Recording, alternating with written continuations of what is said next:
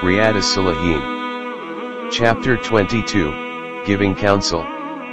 Allah, the Exalted, says. The believers are nothing else than brothers, in Islamic religion. Surah 49 verse 10. Nuh said, I give sincere advice to you. Surah 7 verse 62. And Hud said, and I am a trustworthy advisor, or well-wisher for you. Surah 7 verse 68. Tamim bin Aus ad-Dari, may Allah be pleased with him, reported, the Prophet peace be upon him said, ad-Din is sincerity. We said, for whom? He replied, for Allah, His book, His messenger, and for the leaders of the Muslims and their masses. Reported in Sahih Muslim. Commentary, this hadith stresses the importance and merits of general sincerity. Sincerity for Allah here means that one must have true faith in Him, and He should be worshipped with full devotion and sincerity. Sincerity for the Quran means that one should confirm its truth with one's full heart and mind, recite it regularly, act upon the injunctions contained in it with meticulous care, and strictly avoid its misinterpretation. Sincerity of the Prophet peace be upon him means sincere confirmation of his prophethood, faithful obedience of his orders, and adherence to his sunnah. The goodwill of the Muslim rulers stands here for cooperating with them in their lawful orders, and obedience of their such orders which are free from any trace of sin. If they deviate from the straight path they should be persuaded to turn to virtue.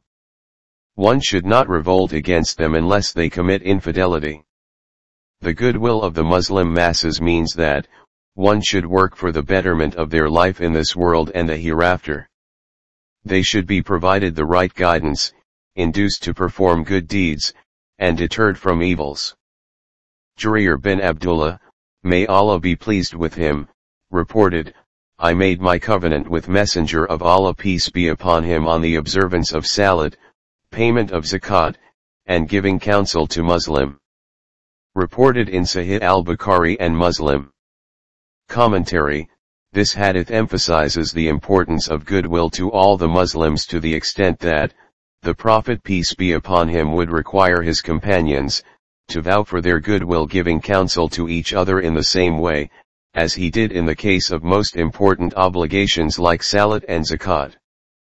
Anas, may Allah be pleased with him, reported, the Prophet peace be upon him said, No one of you becomes a true believer until he likes for his brother what he likes for himself. Reported in Sahih al-Bukhari and Muslim. Commentary, we learn from this hadith about the importance and virtue of mutual love among the Muslims. If we act upon the injunctions mentioned in this hadith, the Muslim societies will be immediately purged of the evils like exploitation, bribery, dishonesty, falsehood, cheating, forgery, etc., which are rampant in them at present. Islam has taught golden principles to its followers who have unfortunately neglected them, and in consequence are leading a life of utter disgrace and moral turpitude. May Allah guide them to the straight path.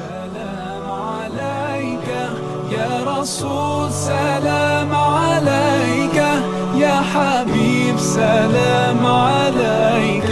صلوات الله عليك.